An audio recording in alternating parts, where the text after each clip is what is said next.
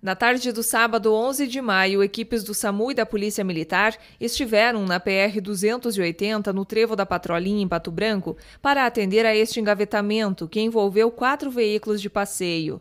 Como tem, tem esse, o pessoal da, da estrada aqui estão fazendo recuperação do asfalto, estão trabalhando, então existe fila, né?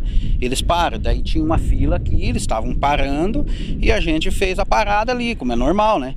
E o cidadão que estava nesse veículo aqui, ele veio com toda a velocidade lá de cima e atingiu aqui quatro veículos aqui, né? Inclusive, né, danificando o meu praticamente deu perca total, né? Não tem, não tem o que fazer, né? Não existe Estava só o senhor no carro? É, ainda bem que estava só eu, né? Já pensou se tivesse uma, alguém mais, podia se machucar, uma criança até, né?